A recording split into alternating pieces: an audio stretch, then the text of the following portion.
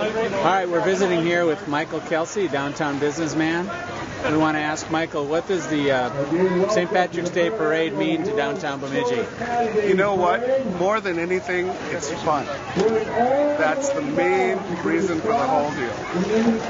And St. Patrick's Day is a great day to celebrate because spring is coming. Are we ready?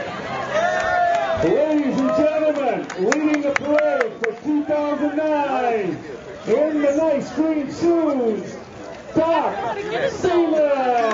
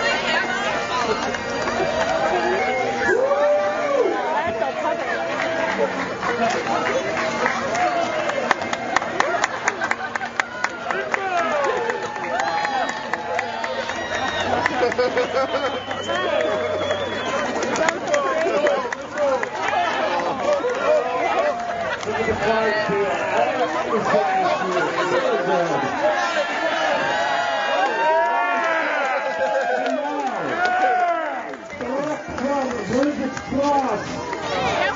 Have a shirt, Thanks. Thanks.